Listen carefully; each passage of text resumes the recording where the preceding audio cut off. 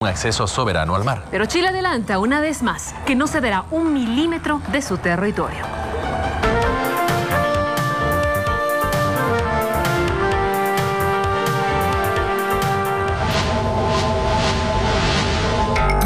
Los letrados de Chile han presentado a la Corte varias hipótesis apocalípticas.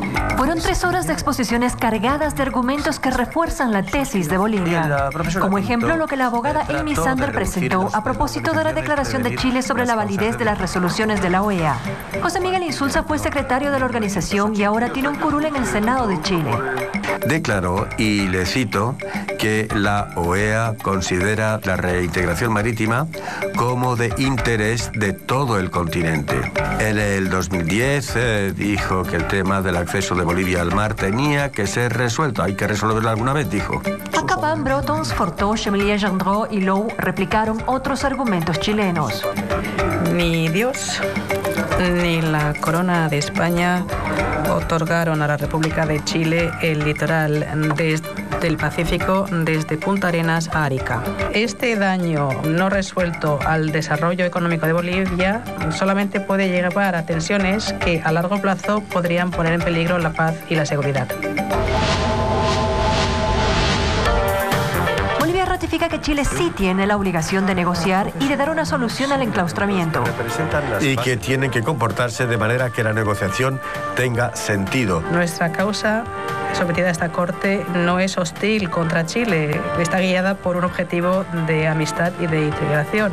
No existe ningún curso continuo ni acumulación de compromisos incumplidos por parte de Chile.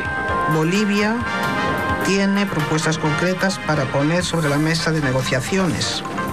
Bolivia busca que ambos pueblos tengamos una relación ganador-ganador. A punto de cerrarse la fase de alegatos, así está el ambiente.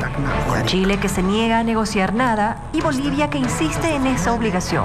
Ni en La Haya, ni en ninguna parte, Chile acepta ni permite que esté en juego un centímetro cuadrado de su territorio. ¿Cómo dice Bolivia que respeta el Tratado de 1904 si al mismo tiempo lo que está exigiendo es un cambio de límites entre los dos países? El Tratado de Paz y Amistad de 1904 no garantiza ni paz ni amistad. Fue un tratado impuesto, injusto e incumplido.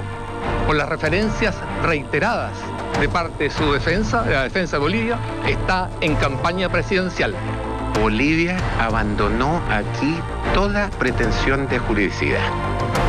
Vino a plantear un caso político, con citas a su propio presidente. Deseo volver a extender a Chile la mano fraterna de Bolivia. Chile cierra sus alegatos este miércoles.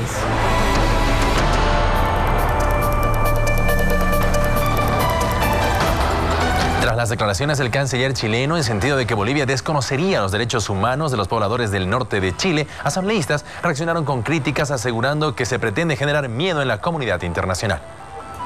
Algo que es muy llamativo. Sigue desconociendo los derechos humanos de los chilenos que viven en territorio soberano en el norte de Chile. Estas son las declaraciones del jefe de la diplomacia chilena, las mismas que reciben críticas de la presidenta de la Cámara Baja y que son consideradas como desesperadas ante la falta de argumentos. Intentan generar un temor, así como cuando muestran esa mirada apocalíptica de que la diplomacia en el mundo entero se va a ver afectada y va a acabar. Eso muestra a un Chile en el siglo XIX. Con esta agresividad pretenden eh, devolvernos eh, la, las adjetivaciones que han utilizado durante los alegatos, la primera ronda de alegatos. Este miércoles Chile presenta sus alegatos orales de dúplica a la argumentación boliviana para que luego la Corte Internacional de Justicia de La Haya tome una determinación en torno al litigio en un plazo de seis a ocho meses. Y el vicepresidente Álvaro García Linera dijo que Bolivia ofrece a Chile conversar sobre una salida al mar que beneficie a ambos países. La delegación chilena ha perdido toda la compostura diplomática posible y eso habla de su desesperación. No cabe duda de que el golpe que ha recibido jurídico en las últimas tres horas es de tal magnitud que no ha quedado más que esta agresividad y esta, este ejercicio de antidiplomacia verbal que hemos visto en la televisión. Yo lamento, lo lamento por Chile. Quien queda mal es Chile. Chile no puede ponerse de espaldas a la legalidad internacional. Se convertiría en un Estado paria. Por eso confiamos de que, así como Bolivia va a acatar el fallo, le toca a Chile acatar el fallo.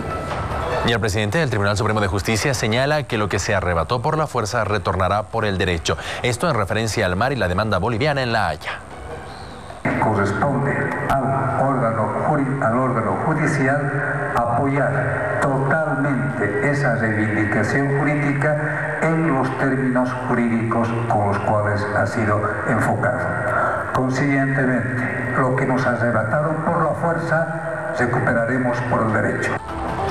Información en vivo en Telepaís. Estamos junto a Christian Seiler en instalaciones de Adepcoca, donde las cosas poco a poco vuelven a la normalidad. Comenzamos con usted. Así es, muchas gracias. Esto, esto ya porque de alguna manera se fue, fue ratificado Franklin, Franklin Gutiérrez al cargo de presidente. Esto vuelve a la normalidad en este lugar. Vamos a hablar con un dirigente justamente. Buenas noches. Eh, todo está volviendo a la normalidad. Sí, antes muy buenas noches a la prensa, ¿no? Que está aquí acompañándonos siempre día a día, tras días. Se lo agradece a la empresa. Antes no queremos decir, nuestro hermano Franklin ha sido ratificado en tres oportunidades con Macía bases, ¿no? Siempre con el pueblo elegido. No es los, los dirigentes, supuestos dirigentes que se han nombrado han sido al dedo, pero la base es donde hemos decidido como bases, ¿no? Sacar a nuestro dirigente Franklin Gutiérrez.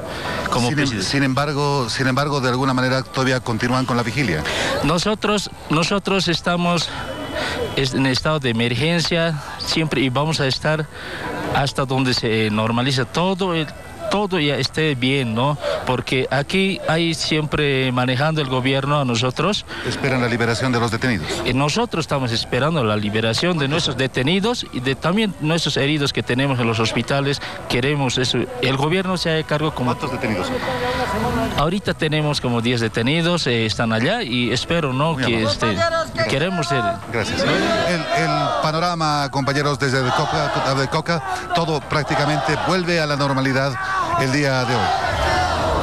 Segunda unidad móvil en Telepaís porque hoy se dicta sentencia en el caso de la muerte del niño Alexander Juan Ramón Flores. Sí, nos encontramos en la Corte Departamento de Justicia. En este momento la gente hace vigilia acá esperando los resultados de la lectura de sentencia de este caso que ha pasado en 2014, el 13 de noviembre. Un caso que ha consternado a la población. Vamos a conversar con el padre del médico que en este momento está en la audiencia. Señor Fernández, buenas noches. Su hijo está en la audiencia. ¿Qué esperan ustedes de esa lectura de sentencia? Mire, eh, estamos totalmente esperanzados en que se va a dictar, se va a dictaminar toda la verdad. Nosotros queremos justicia porque mi hijo es inocente, está injustamente procesado. Hemos llegado hasta estas instancias y hoy se va a dictar la sentencia. Queremos la verdad, solamente la verdad. Queremos justicia. Mi hijo es inocente, es inocente mi hijo. Ustedes han seguido la audiencia desde la mañana. Eh, ¿Tiene algún resultado de la audiencia? ¿En qué fase estará? Todavía no se sabe, está en alegatos, no podemos entrar nosotros porque es eh, una audiencia reservada y siempre ha sido reservada esta audiencia. Quieren eh, dictaminar, yo, creo, entre las cuatro paredes. No podemos entrar a la audiencia y no sabemos hasta el momento cómo está avanzando. Muchas gracias, señor Fernández. Ese es el informe de la Corte Departamento de Justicia. Esta audiencia continúa, se informa que en este momento está haciendo uso de la palabra los abogados de los tres acusados en este caso. Compañeros.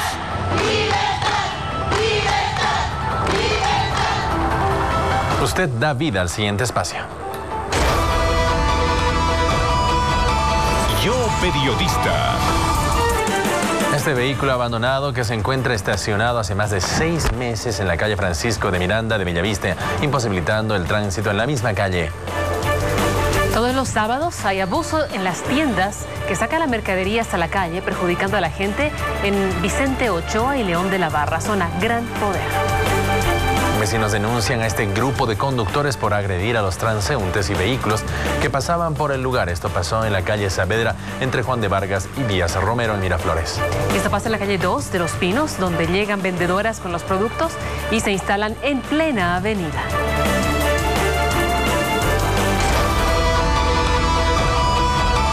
Yo periodista. Y la policía en Oruro identificó al vehículo y al conductor que atropelló a la ciclista Melanie Bustos.